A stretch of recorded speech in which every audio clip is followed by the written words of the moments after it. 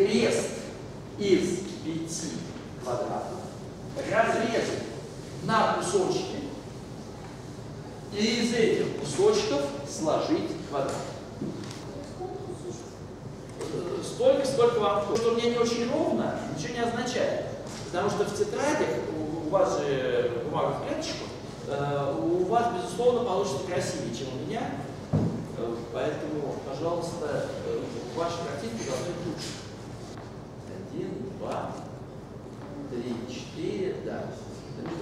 все абсолютно одинаковые половинки квадрата.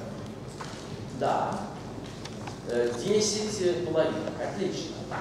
Один, два, три, четыре, пять, шесть, семь, восемь, девять, десять. Отлично. Отлично. Теперь вопрос. Я еще... А теперь вопрос. Скажите, пожалуйста, неужели вы действительно уверены, что вторая и третья часть одинаковые по Пятая и шестая часть тоже разные. Почему? Потому что здесь прямоугольный треугольник с таким катетом, вот это катет, а вот это битюн. А здесь прямоугольный треугольник с такими катетами, какой битюн. Понятно, да? Их размеры отличаются. Не решена задача. Хорошо. Главную идею он понял. Я просто знаю, как это можно нарисовать, что называется, понятнее и красивее. Надо вот так. Надо было провести вот так линию. Э, здесь надо было вот так провести линию. Здесь вот так э, и здесь вот так. Это середина.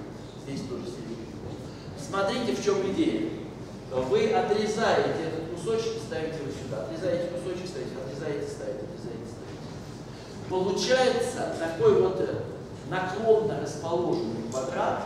Понятно, что его площадь 5 клеток.